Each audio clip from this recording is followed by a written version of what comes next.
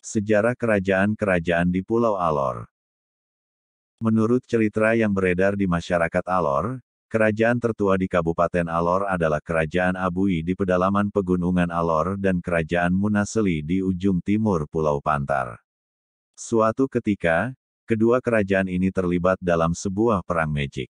Mereka menggunakan kekuatan-kekuatan gaib untuk saling menghancurkan.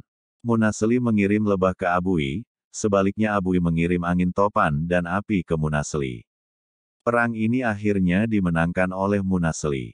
Konon, tengkorak Raja Abui yang memimpin perang tersebut saat ini masih tersimpan dalam sebuah goa di Mataru. Kerajaan berikutnya yang didirikan adalah Kerajaan Pandai yang terletak dekat Kerajaan Munaseli dan Kerajaan Bunga Bali yang berpusat di Alor Besar. Munaseli dan Pandai yang bertetangga, pada akhirnya juga terlibat dalam sebuah perang yang menyebabkan Munaseli meminta bantuan kepada Raja Kerajaan Majapahit, mengingat sebelumnya telah kalah perang melawan Abui. Sekitar awal tahun 1300-an, detasmen tentara bantuan Kerajaan Majapahit tiba di Munaseli, tetapi yang mereka temukan hanyalah puing-puing Kerajaan Munaseli, sedangkan penduduknya telah melarikan diri ke berbagai tempat di Alor. Para tentara Majapahit ini akhirnya banyak yang memutuskan untuk menetap di Munaseli, sehingga tidak heran jika saat ini banyak orang Munaseli yang bertampang Jawa. Peristiwa pengiriman tentara Majapahit ke Munaseli inilah yang melatar belakangi disebutnya Galiau atau Pantar dalam buku Negara Kartagama karya Empu Prapanca yang ditulisnya pada masa jaya kejayaan Majapahit 1367. Buku yang sama juga menyebut Galiau Watang Lema atau daerah-daerah pesisir pantai kepulauan. Galiau yang terdiri dari lima kerajaan, yaitu Kui, dan Bunga Bali di Alor serta Belagar, Pandai dan Baranusa di Pantar. Aliansi lima kerajaan di pesisir pantai ini diyakini memiliki hubungan dekat antara satu dengan lainnya. Bahkan raja-raja mereka mengaku memiliki leluhur yang sama. Pendiri kelima kerajaan daerah pantai tersebut adalah lima putra Mauwolang dari Majapahit dan mereka dibesarkan di Pandai. Yang tertua di antara mereka memerintah daerah tersebut. Pada masa ini ada sebuah perjanjian yang disepakati, di mana perjanjian itu dinamakan Perjanjian Lisabon pada tahun 1851. Berdasarkan catatan Antonio Pigafetta, seorang ilmuwan dan penjelajah asal Venesia, pada tanggal 9 sampai tanggal 25 Januari tahun 1522, Pulau Alor Pantar dikunjungi oleh kapal Victoria, yakni sisa terakhir dari armada Magellan. Antonio menulis bahwa ketika sampai ke Alor Pantar, ia menemukan penduduk pulau ini buas seperti hewan dan makan daging manusia. Mereka tidak mempunyai raja dan tidak berpakaian. Mereka hanya memakai kulit kayu, kecuali kalau pergi ke medan perang.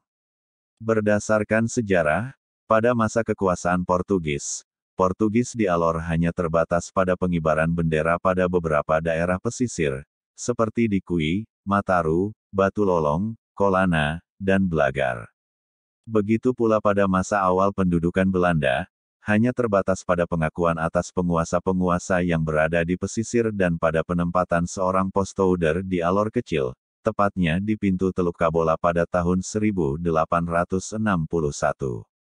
Dengan perjanjian Lisabon pada tahun 1851, Kepulauan Alor diserahkan kepada Belanda dan Pulau Atauru diserahkan kepada Portugis. Orang-orang Portugis sendiri sebenarnya tidak pernah benar-benar menduduki Alor, walaupun masih ada sisa-sisa dari zaman Portugis seperti sebuah jangkar besar di Alor kecil. Pada tahun 1911, pemerintah kolonial Belanda memindahkan pelabuhan laut utama dan pusat pemerintahan Alor dari Alor kecil ke Kalabahi. Kalabahi dipilih karena datarannya lebih luas dan lautnya lebih teduh. Kota Kalabahi artinya pohon kusambi, yang mana dulunya memang menghutani dataran ini. Dengan pemindahan pusat kekuasaan ke Kalabahi, pemerintah kolonial Belanda menempatkan Master Bowman sebagai controller pertama di Alor.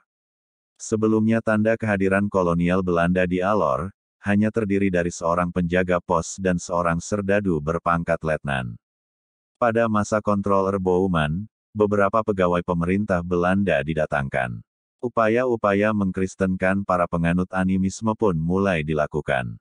Baptisan pertama dilakukan pada tahun 1908 di Pantai Dulolong. Pada masa ini Alor terdiri dari lima kerajaan, yaitu Kui, Batu Lolong, Kolana, Baranusa dan Alor. Kerajaan Alor wilayahnya meliputi seluruh Jasirah Kabola, bagian utara Pulau Alor. Pada tahun 1912 terjadi pengalihan kekuasaan raja dari dinasti Tulimau di Alor Besar kepada dinasti Nampira di Dulolong. Pemerintah kolonial Belanda lebih cenderung memilih Nampira Bukang menjadi Raja Alor sebab beliau berpendidikan dan fasih berbahasa Belanda.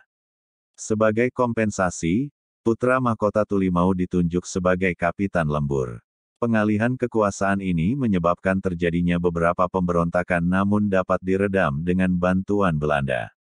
Di masa pendudukan Belanda di tahun 1910 sampai tahun 1916, Belanda banyak mendapat tantangan dari rakyat Alor Pantar. Kerajaan-kerajaan yang terkenal sering melakukan perlawanan adalah Kerajaan Bunga Bali, Kerajaan Kui, Kerajaan Kolana, Kerajaan Pureman, Kerajaan Mataru, Kerajaan Batu Lolong, Kerajaan Baranusa, Kerajaan Pandai, dan Kerajaan Blagar. Namun, Belanda dengan divide impera atau politik pecah belah dan politik adu domba, dan korte verklaring atau perjanjian pendek, akhirnya berhasil menaklukkan para raja tersebut. Dari sembilan kerajaan yang sering melakukan perlawanan, Belanda akhirnya melakukan perampingan hingga tertinggal empat kerajaan, yakni Kerajaan Kui, Kerajaan Alor Pantar, Kerajaan Kolana, dan Kerajaan Batu Lolong.